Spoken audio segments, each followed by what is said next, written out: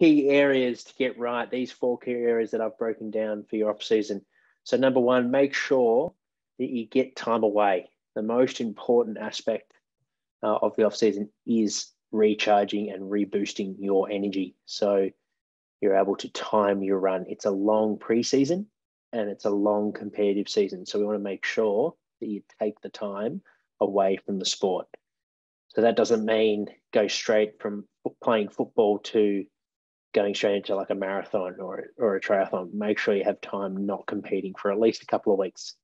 From a recovery point of view, uh, it's really important that you're having mental and physical recovery, as I just mentioned earlier. So things that can help your mental recovery, uh, catching up and doing things that you didn't have time for in season.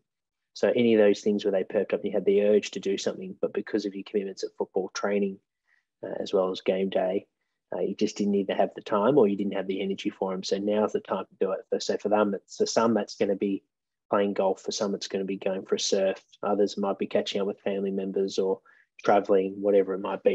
Number three, experiment. So the off season, you've actually there is no game day, so it's a great time to play around with some different methodologies. Maybe you've the coaches are giving you feedback on that your your combat work, your your contested work is is lacking, so you need to work on that. So why not throw yourself in an environment like boxing, MMA, practice grappling with athletes, and, not just footballers, but other type of uh, athletes, wrestling, all these type of getting yourself in a situation where you're learning from the best at what they do in that specific environment. So you'll you'll get a lot out of that, not only physically but also mentally as well, because it's a different stimuli. Um, so it's nice to mix it up and get a lot of variation. And then, like I mentioned before, with the recovery mental side, uh, the importance of having hobbies outside of your sport. So if you haven't got one and you're obsessive about football, actually try and find something outside of sport, whether that be um, maybe you make a DJ um, music playlist or you take up some arts and crafts, you take up horse riding, like I mentioned, I saw surf, golfing are some popular hobbies. So whatever it is, try some different activities and throw yourself on the deep end in practicing and developing some new skills outside of sport that have nothing to do with sport. You're not doing it, you're not doing that hobby to be a better footballer. You're just doing that um, to play and, and have fun.